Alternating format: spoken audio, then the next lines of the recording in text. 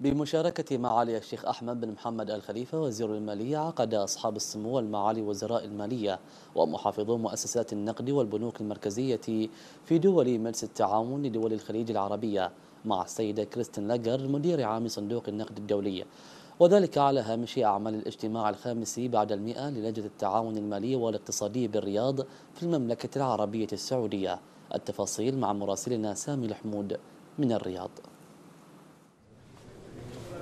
بحضور معالي الشيخ أحمد بن محمد آل خليفة وزير المالية بمملكة البحرين.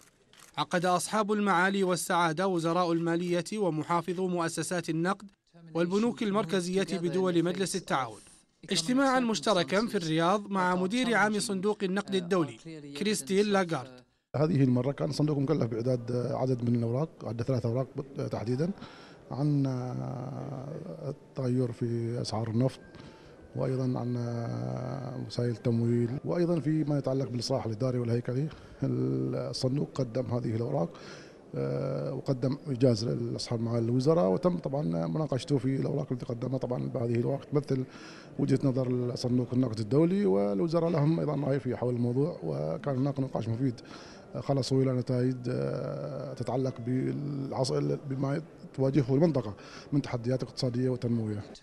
وتم خلال الاجتماع بحث القضايا الاقتصادية الخاصة بدول مجلس التعاون وتطورات الاقتصاد العالمي وانعكاساته على الأوضاع الاقتصادية والمالية والنقدية للمنطقة. هذا العام هناك موضوعين مختارين آه، كذلك آه، ناقشناهم، الموضوع الأول هو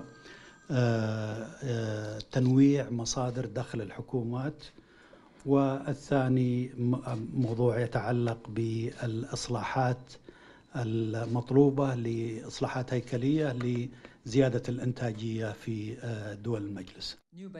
وكان صندوق النقد الدولي قد أكد على أن دول مجلس التعاون تواجه تحديات كبيرة جراء انخفاض أسعار النفط ما يحتم عليها مواصلة إجراءات خفض الإنفاق خلال الخمس سنوات القادمة والعمل على توفير إيرادات غير مرتبطة بالنفط. صندوق النقد الدولي في سنة 2016 قال بأن يعني النمو يتوقع أن يكون بنسبة 1.7 من عشرة بينما كان في آه، سنة 2015 3 و4 من عشرة لسنة 2017 هو 2 و3 من عشرة. وطبعا بناء على هذا الوضع فإن كل بلدان الخلي... آه، مجلس التعاون الخليجي قد بدأوا بإصلاحات لكي يتعاملوا مع هذا الوضع.